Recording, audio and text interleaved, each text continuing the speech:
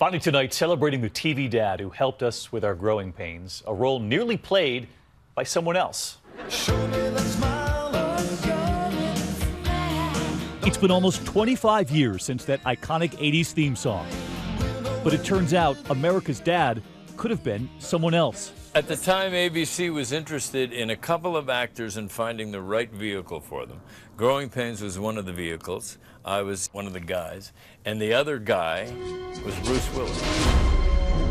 Happy trails, Hans. So I guess there would have been a chance that I would have been in Moonlighting and Bruce Willis would have been their dad.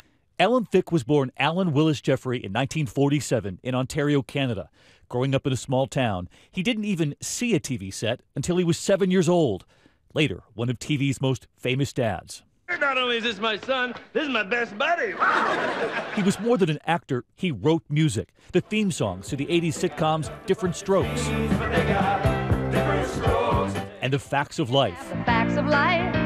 The facts of life. Music runs in his family, his son Robin Thicke, who tonight says his father was the best man he ever knew. One of his last tweets was a message to new fathers love, then love some more. Remembering Alan Thicke. Thanks for watching here on a Wednesday night. I'm David Muir. I hope to see you right back here tomorrow.